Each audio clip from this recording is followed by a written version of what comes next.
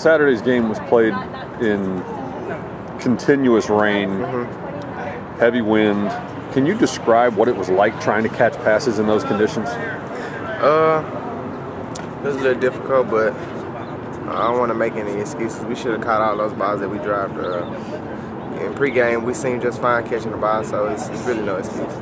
So you didn't see anything during warm-ups that might lead you to believe we're going to have a rough night catching the ball tonight. Oh, well, we knew what the conditions were, and what the coach told us was that we were going to have to be more focused on the ball and just try to make the catch before you do anything else. So uh, we didn't have attention to detail, I think, throughout the game as far as catching the ball. Did you make any in-game adjustments like switching gloves or trying doing something to try to keep your hands a little Yeah, drier? we Is there anything you can do?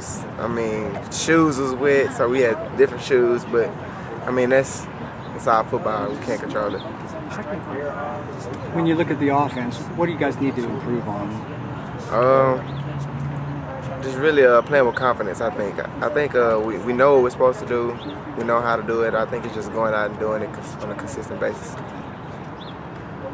when you look at um, the, you've had a couple of games this year where obviously TCU game was a little different because of all the rain, uh, but you've had a couple of stretches earlier this year where there've been some drop balls here and there. What's the difference between this year and last year? Last year it didn't seem like there were that many.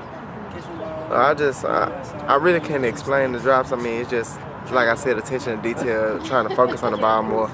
Uh, we just got to get better every week. If I mean, you see receivers out here catching balls, not getting extra balls, so that's what it's going to take for us to catch it in the game, and that's what we have to do. Is part of it simply the comfort level of getting used to your new quarterback?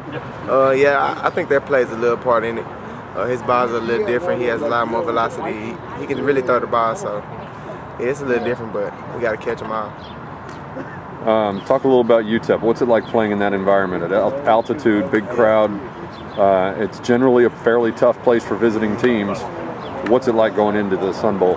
Uh, it's first conference game, so uh, we want to, uh, as a team, we said this is the start of a new season. Uh, put those games before behind us, uh, and UTEP is a pretty good team. Uh, they're coming off a few losses, but you can tell on film that they're a very confident team. They play with confidence, and uh, they're a really good team. So got to come out and match their intensity, and we should be all right.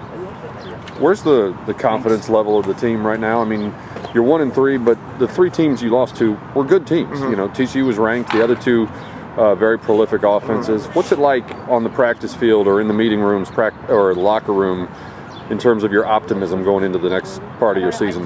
Uh, I, I think we have pretty good confidence as a team. Uh, we just have to, like I said earlier, just go out there and execute what we know we can do.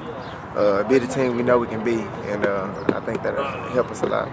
After the first few games, Coach Jones and Garrett Gilbert have both said, you know, it seems like this offense is really close to clicking.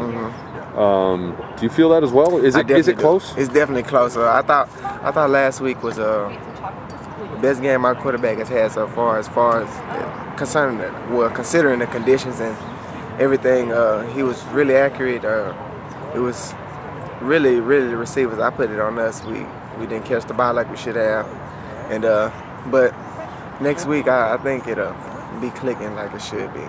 You always hear the defense talk about one play and clear, one snap and clear. Mm-hmm. Is there a, a sort of a hangover when you have a game where there's some drop balls, or Thanks, Billy. are you able to, you as an offensive group, able to erase those drops and move on without letting that carry over? Well, uh, we're definitely gonna be. It's in the back of our heads because obviously we don't want to do it again. So uh, we uh, came out this week, you know, trying to switch things up in practice, doing uh, doing the extra stuff, attention to detail as far as scout goes, uh, making sure we catch the ball and finish. So uh, I think I think we'll be all right this week. What is some of that extra stuff that you do? Uh, just really uh, the extra work out here, getting extra balls. You seen Coach Phillips out here with us doing a little uh, drills because we, we expect to get a, a lot of man coverage this week. So our receivers are really pumped up about that. We all like man coverage.